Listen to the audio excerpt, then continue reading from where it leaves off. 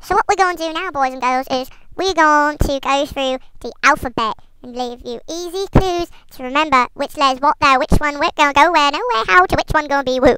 Except it's not going to be in Spanish though. It's not going to be in Spanish, even though the letters are fundamentally the same instead of N-Y and the and we had Che. But anyway, so it's going to go thusly. We're going to go back and forth, identifying the letters and what goes with them that though. Ain't it though? Alright. Alright, so let's get this show on the road. Okay. A is for applesauce. Applesauce, okay. And then B is for something that I cannot really say, but apparently it says barnacle. That's a barnacle, Mexico. Grows on a boat, like the one you came over on. C is for cauldron. Like what Harry Potter's going to bore you in. D is for dingo, but it's like it's like a dog, except it isn't. You could have just put dog instead of dingo. Pretty sure he just came from Brooklyn though. Anyway, it's like a dog. It's not domesticated though, because it's going to eat your baby. E is for Ethiopia. Very skinny man, but runs very fast though. F is for Fidel Castro, not to be confused with that very notorious president of Mexico, Felipe Calderon. Same difference. G is for grub.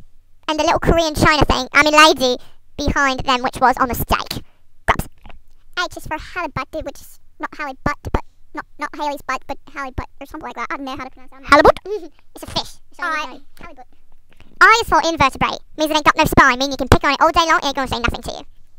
J is for jelly beans, jumping jelly beans. That says Peter Weatherall. Jumping jelly beans. Is for kimchi. Actually, funny story at kimchi about how Japanese done cut off all the ears of a bunch of Koreans and put them in 10,000 kimchi pots and they sent back to Korea. And I think I'm mixing up. Sorry about ears and kimchi pots. Moving on. L is for Lithuania, not to be confused with lithium. M is for marmalade. This is a special blue kind. I'm guessing it's what Clark Kent done put on his toast every morning to make them fly and be all zippy like. N is for Neptune. That's it. It's good enough for me. O is for opium, specifically from Afghanistan in this picture. P is for Pokemon or Pikachu or parasites or perpendicular. Just gotta catch them all. That's all you gotta say, Mexico. Alright. Q is for Quakers, which you can see ain't got a lot of oatmeal going on now. R is for uh, Let's sound it out. rapscallion. Rapscallion? I, It's called rapscallion. oh, I didn't see the I, I didn't see the dot on the Moving on. S is for salivary glands. As you can see, you've got the salivary. Then you've got the glands there. Moving on. T is for tickle, and when you get tickled, you go. Alright. And the U is for undulate, which this thing is here right here. It's got split toe undulate. vagabond. No wait, V is for. I can't talk because I was a vagabond and I didn't get, get taught speaking skills. They haven't talked anything and beg money off the rest of people walking by.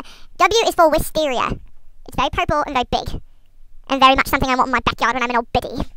X is for xanthan gum, and even though it says gum, it doesn't look like gum. It looks like cocaine or something. For the children, you can't say crack cocaine, Mexico. Gosh.